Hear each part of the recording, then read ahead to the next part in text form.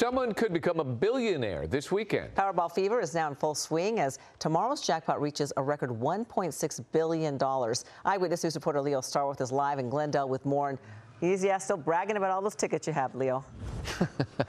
oh, yeah, buddy. Oh, yeah. The question is could I be fanning myself with well over a billion dollars? Well, of course I could be. Look at that, folks. I'm in Esquire Liquor here in Glendale, and I snapped up a bunch of these tickets because, as you well know, you can't win if you don't play. Here's more. Take your pick. One of them's got to be it, right? One of them's got to be it. Think about it. You could be the next person to join the Billionaires Club, living it up with luxury cars, homes, private jets, and oh, so much more. It's my whole company. We're winning this. So $3,300 worth. So it would be, when doing the math, 1,650 quick picks. Yeah, it's all my coworkers. Yeah, so everyone put in about 33 of us put in $100. She says if she wins, she wants to buy real estate and invest. I don't think any of us are showing up on Monday if we win. Sylvia Mendoza is having fun fantasizing about what she would do with the $1.6 billion record Powerball jackpot. Buy you a new life?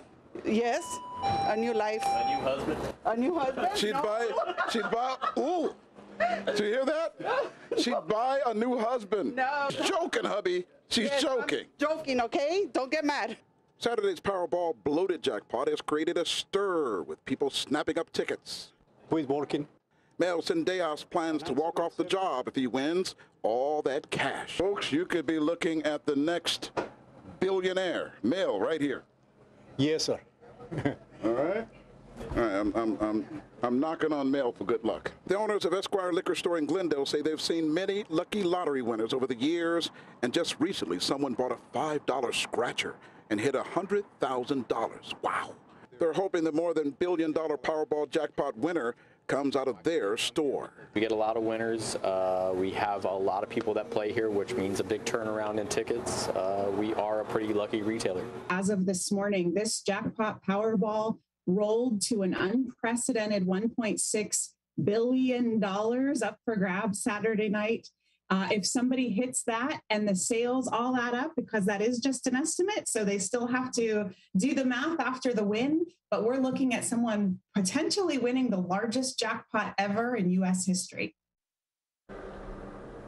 And if I win that jackpot on my oath as a California Grand Mason and an Al Malaikah Shriner, I will send a hundred underprivileged children to the greatest place on earth, Disneyland. And I will also foot the bill for them to eat at Goofy's Chicken with all Goofy's Kitchen, excuse me, with all the cast of characters, Mickey Mouse, Minnie Mouse, Goofy, all those good folks. The kids will have a blast. Something I never got to do as a kid because I was one of those underprivileged children, and I'm going to pay it forward if I win.